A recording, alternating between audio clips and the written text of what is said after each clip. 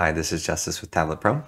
We have a update that I'm really excited about, and it may be one of those ones where uh, I'm more excited than everybody else, which seems to be kind of what happens all the time. But uh, anyway, uh, so let's go into it. So the first thing that is uh, changed that I'm very, very happy about because it's something that we've had complaints about for years.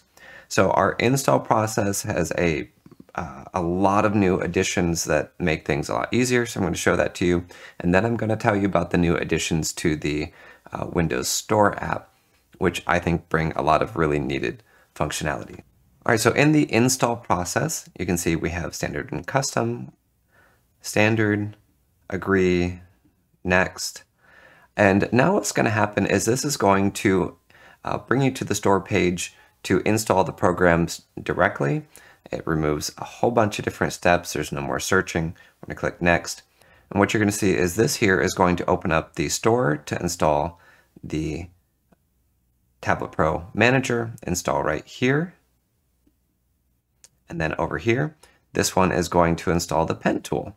And then this is brand new in this version, launch the pen tool after installation. Uh, keep that checked if it's not installed and running already.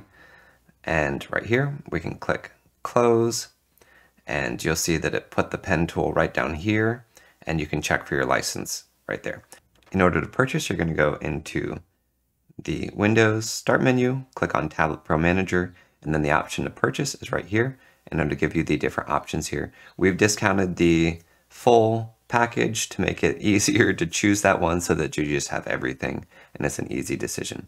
If you do that, I just want to say thank you from my family to yours and from Takashi's family to yours. It makes a big difference to us when you support us in this way.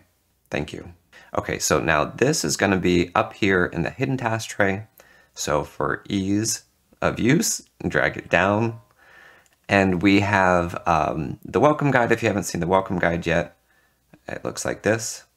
Welcome to the pen tool. Double click these presets uh, move the icon from the task hidden task tray down to the taskbar, lock auto switching right here, install Tablet Pro if you don't have it installed, and the Tablet Pro presets folder is now in the pen tool. So there's a whole lot of stuff that's that's being adjusted and thank you for your patience with that. It shouldn't change anything that's already working, but for uh, new people, this is going to be a whole lot easier. And a lot of the stuff, uh, this is new territory for uh, for me. So trying to make things better and uh, unfortunately means some shifting of different things. Okay, so preset folder is now in the pen tool, which means for organization's sake, save and then copy your files into the pen tool and that'll add some functionality. Okay, so here uh, stylus buttons, you can choose to switch to a different stylus here or in the same location before. Tap to unlock, we now have the ability to work with advanced modifiers and mouse clicks with the pen. So this is really cool. It means that you can do navigation in Maya and Blender and do uh, like Alt Control Shift middle click if you want, uh, or up to that, or right click and so you have those options there. Okay, so pen tool opens up and you can double click here and it will load all the different options here. There's the slim mode uh, of the artist pad, which is really cool. I think a lot of people will like this because it's smaller, it's slimmer. It lets you do uh, a lot of things with less space on the screen. It's sexy. So that's a new addition if you haven't watched the last update video. All right, so over here, this is the rate icon. And if you guys like Tablet Pro, this is the easiest way to show appreciation. It's free. And uh, we have a whole bunch of bad one-star ratings from people who had a hard time figuring out different settings. That is what I'm trying to do a much better job of, remove a lot of those questions. Uh, everything has a tooltip uh, now with explanations on, on what they do, uh, including in settings. So all of these have tooltips. So you can go through here and see what all of these do. Some have been reworded to make them easier to understand. And uh, right here, this is the path for the preset folder and you can choose recommended if you're having any trouble getting here. It should be the My Presets folder. Uh, so in the past we had a presets folder. There is now a default presets and my presets. So if you copy over something and you wish that you hadn't copied over it, you can choose update all presets. This will copy, this will replace the default presets back into the my presets folder. I hope that's clear. So, and it shouldn't it shouldn't copy over any of your uh, personally ones if it has a different name of the file or you've modified it. It shouldn't copy over it. However, in the beginning, make a copy, back it up, put it somewhere else, and then do this process if you want to update those presets. Uh, be smart about it so you don't have anything copied over. Uh, this is still new. So it's supposed to work, but everyone's computer seems to be slightly different in some way. Occasionally is surprising. All right, so those changes here in the pen tool, the install process, those are all really great. Very happy about uh, what we're doing.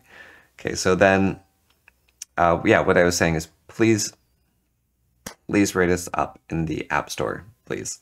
All right, so what else is new? The layout editor got an update with some really cool new button functions.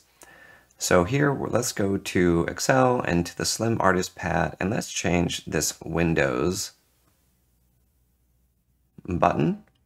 And we're gonna change it here. We're gonna scroll down to the bottom, and there are some icons here for mute, decrease volume, increase volume, play pause, stop, track forward, track back, and brightness down, brightness up.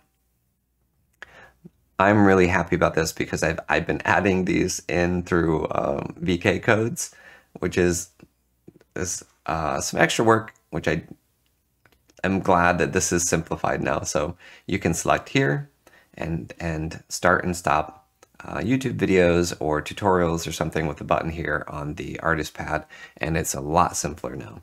There's a lot of cool changes coming that should make uh, adjusting the way that the artist pads look uh, a bit simpler. All right guys, that's it for this update. Uh, again, if you guys like uh, what we're doing, if you find value in it and you don't like it yet, but you want it to be better, then please uh, subscribe to this channel and rate us up in the Microsoft App Store. If you have a feature request, please put that in the comment section. I would love to hear your ideas and what you think would make Tablet Pro better. Uh, we also are really wanting to start promoting Tablet Pro now that this has gotten easier uh, for people to understand what things do and easier to start using. So if you'd like to promote us or share us uh, on social media, uh, we would love that. I'd be happy to hear also about where you're posting, so put that in the comment section as well. All right, guys, until next time, stay creative and have a wonderful day.